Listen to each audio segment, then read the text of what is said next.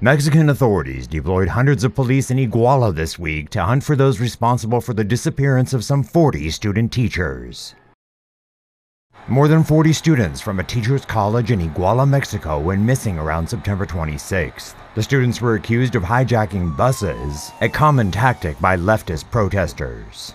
Municipal police officers reportedly arrived at the scene and opened fire on the students. The shooting left six people dead and more than two dozen injured. Some witnesses said local police then took away a number of students. A person detained by the police told state investigators the students were subsequently murdered on an isolated hillside. Investigators, however, have yet to confirm that account. The bodies were then allegedly put into pits filled with wooden branches and set alight after being doused with a flammable substance. 28 charred corpses were found in the pits on Monday, but state authorities say they will need at least 15 days to identify the bodies. Mexican authorities say it is possible that some of the missing students are among the charred bodies found.